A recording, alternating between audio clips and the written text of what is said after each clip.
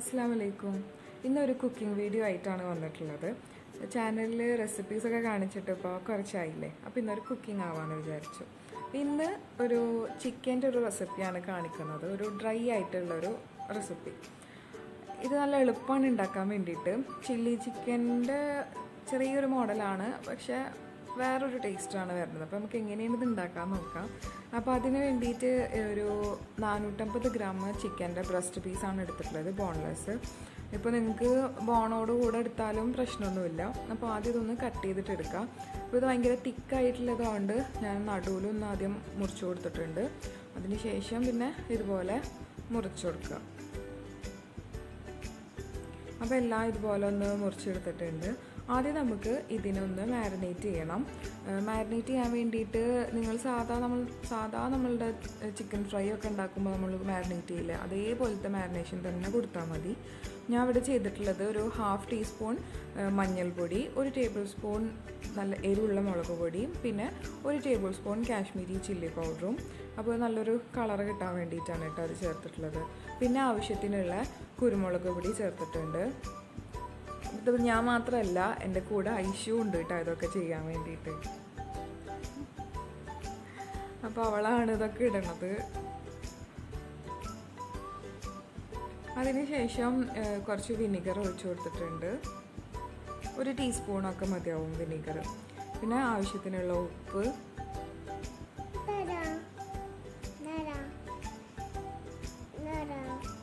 ഒന്ന് മിക്സ് ചെയ്തെടുക്കുകയാണ് ഐഷു ആണ് മിക്സ് ചെയ്യണത്.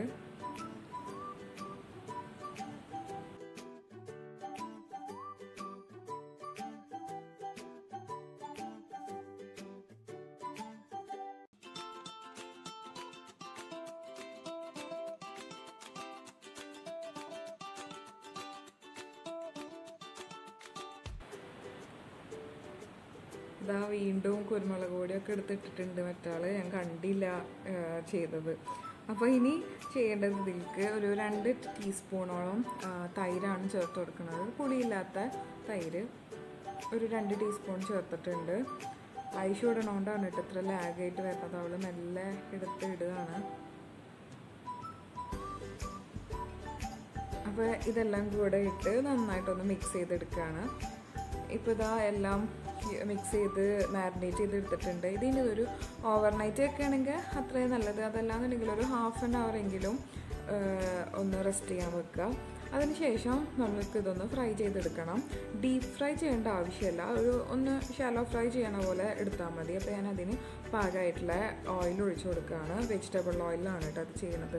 അപ്പോൾ വെജിറ്റബിൾ ഓയിൽ ഒഴിച്ചു കൊടുത്തിട്ടുണ്ട്. എണ്ണ ഒന്ന് ചൂടായി കഴിഞ്ഞാൽ നമുക്ക് ചിക്കൻ എല്ലാം ഇട്ടിട്ട് ഒന്ന് ഫ്രൈ ചെയ്തെടുക്കാം.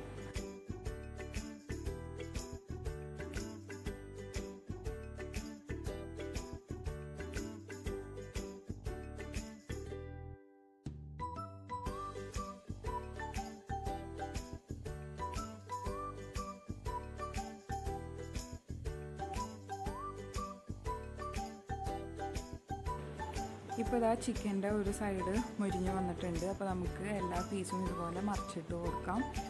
അതിനുശേഷം മറ്റേ ഭാഗവും ഇതുപോലെ മുരിയുന്നത് വരെയും കുക്ക് ചെയ്തെടുക്കാം. ഇതൊരു മീഡിയം ഫ്ലെയിമിൽ വെച്ചിട്ടാണ് കേട്ടോ ചെയ്യുന്നത്. മീഡിയം ഫ്ലെയിം ഹൈ ഫ്ലെയിമിൽ ഇട്ടിട്ട് ചെയ്യരുത്. അപ്പോൾ ചിക്കൻ പെട്ടെന്ന് വെന്ത് കിട്ടില്ല. അപ്പോൾ മീഡിയം ഫ്ലെയിമിൽ ഇട്ടതിന് ശേഷം വേണം ഇതുപോലെ ആക്കിയെടുക്കാൻ വേണ്ടിയിട്ട്. അപ്പോൾ ഇതാ നമ്മളുടെ ചിക്കൻ ആയി കിട്ടിയിട്ടുണ്ട് രണ്ട് സൈഡും. ചെറുതായിട്ടൊന്നും മുരിഞ്ഞ് വന്നിട്ടുണ്ട്. പിന്നെ നമുക്ക് കോരി മാറ്റി വെക്കാം. ഇത്ര ആയാൽ മതി.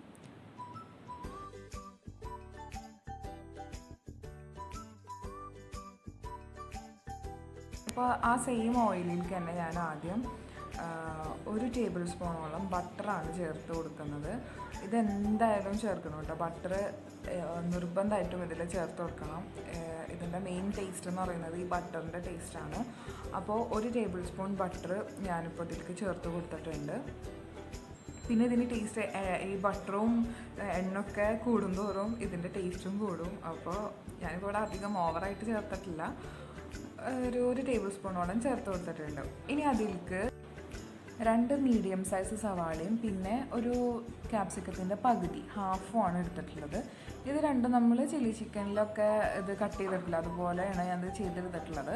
അപ്പോൾ ഇത് രണ്ടും കൂടെ ഒരുമിച്ച് തന്നെയാണ് ഞാൻ ഇട്ടിട്ട് ഇതൊന്ന് വഴറ്റിയെടുക്കേണ്ടത്. ഇതിന്റെ കളറൊന്ന് മാറിയാൽ മതി.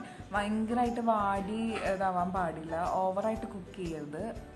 എന്താ പറയുക നമുക്ക് ഈ ഉള്ളിയൊക്കെ കടിക്കുമ്പോഴുള്ള ഒരു ക്രഞ്ചിനെസ് ഉണ്ടല്ലോ അത് വേണം.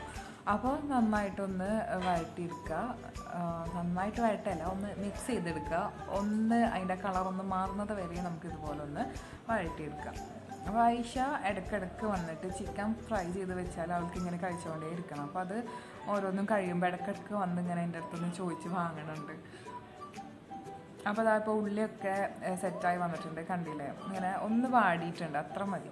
ഇനി ഇതിലേക്ക് ഞാൻ ആഡ് ചെയ്യാൻ പോകുന്നത് ഒരു രണ്ട് ടേബിൾ സ്പൂണ് ടൊമാറ്റോ സോസാണ് ഇതും കൂടെ ചേർത്തിട്ട് ഒന്നും കൂടെ നന്നായിട്ട് മിക്സ് ചെയ്തെടുക്കാം.